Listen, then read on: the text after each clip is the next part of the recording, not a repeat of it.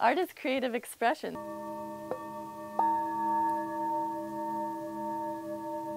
I'm Sorrel and I'm going to make a tasty little treat for San Diego Fine Art Society's third birthday celebration. What we're going to do is take some fresh, local, seasonal, and organic vegetables.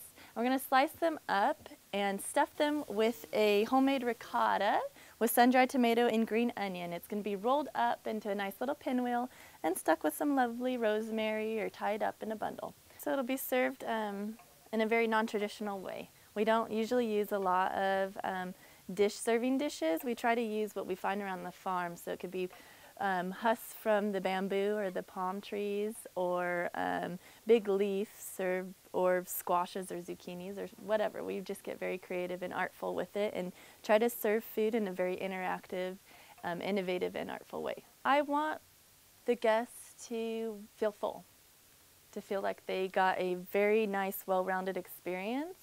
Um, full not just in their bellies, but their hearts and their souls. Food is, um, it touches on all the senses. I make it very interactive and I want it to not only taste good but look good and feel good and, and just, I want it to be a full sensory experience. I was raised on the farm and so I've always been communing with nature and the plants and since I was little I've loved um, cooking and being in the kitchen with my grandma, my mom, and it just, you know, kind of developed from there.